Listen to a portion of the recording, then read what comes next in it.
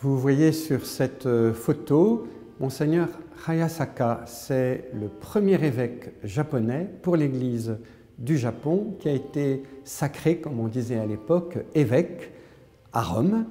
pour le diocèse de Nagasaki. Cette photo est intéressante parce qu'elle a été prise à Rome peu de temps après son ordination et il l'a envoyée en dédicace à Monseigneur de Guébriand qui était alors le supérieur général des missions étrangères de Paris. Jusqu'à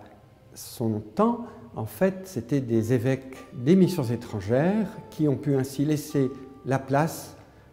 à un évêque japonais. Comme vous le savez, c'est en fait le, le, but des missions étrangères de former un clergé local et de trouver dans ce clergé local des personnes qui seront à même d'être évêques et de prendre en main l'avenir de l'Église de leur pays.